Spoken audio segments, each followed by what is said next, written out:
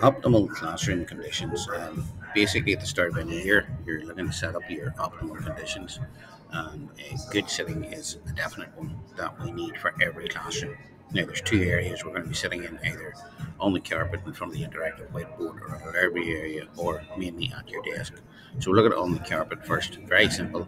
Um, to do good sitting on the carpet, you must put your bottom on the carpet, obviously, um, face forward, um, face the front or face the presenter, cross your legs, uh, put your hands in your lap.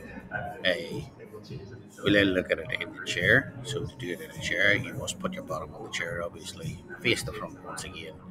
Keep all legs on the floor, including your own, and pull your chair in behind your desk.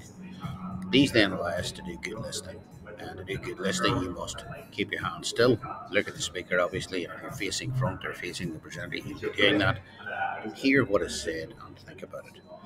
I would also put a number of posters around the classroom with pictures of the children doing this so that they know what the optimal conditions are and also um, encourage them on a number of occasions to practice this. Particularly at the start of the year, it's good to practice it because uh, it embeds it into our learning and makes it part of the classroom routine and a part of our base camp a preparation for our expedition of, throughout the year of learning.